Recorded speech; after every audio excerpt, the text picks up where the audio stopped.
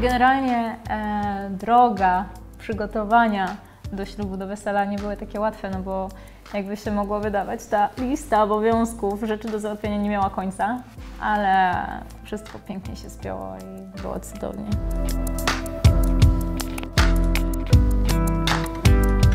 Pandemia spowodowała, że niestety wszystkie ceny wzrosły w górę, więc, e, Razy dwa, razy trzy.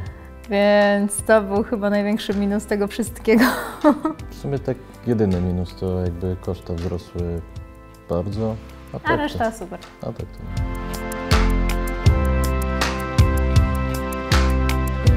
Ja pamiętam, jak mi się Roger oświadczył i pierwsze, co zrobił, jak wylądowaliśmy w Polsce właśnie po zaręczynach za granicą, powiedział, ty sobie nie myśl, że teraz będziemy tylko narzeczeństwem, masz się wziąć za organizację ślubu. No i w ten oto sposób e, nawet rok nie minął i bierzemy ślub. Ja w sumie nie chciałem czekać z niczym, ale jakby jedyne co to się oświadczyłem, powiedzmy, że pod koniec roku, kiedy tu w Polsce już było chłodniej, bo tak to pewnie byśmy zrobili to jeszcze szybciej, więc e, tak byliśmy zdecydowani, więc czekaliśmy tylko, żeby tutaj była też trochę lepsza pogoda, więc to było w sumie jedyny powód, czemu to się rozłożyło wcześniej.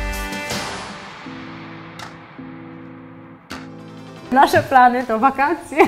Ja Tak. już chcę na wakacje. Jedziemy na bardzo długą podróż poślubną, zwiedzimy, zwiedzimy parę krajów, e, odpoczniemy trochę, e, zatankujemy troszeczkę słońca, bo ten okres do wesela był Bardzo intensywny. bardzo, bardzo in- intensywny, ciężki, dużo stresu, e, więc po prostu przyda nam się teraz e, Więc e, dla par, które szykują się do organizacji wesela, stres jest, tego nie da się uniknąć, ale warto.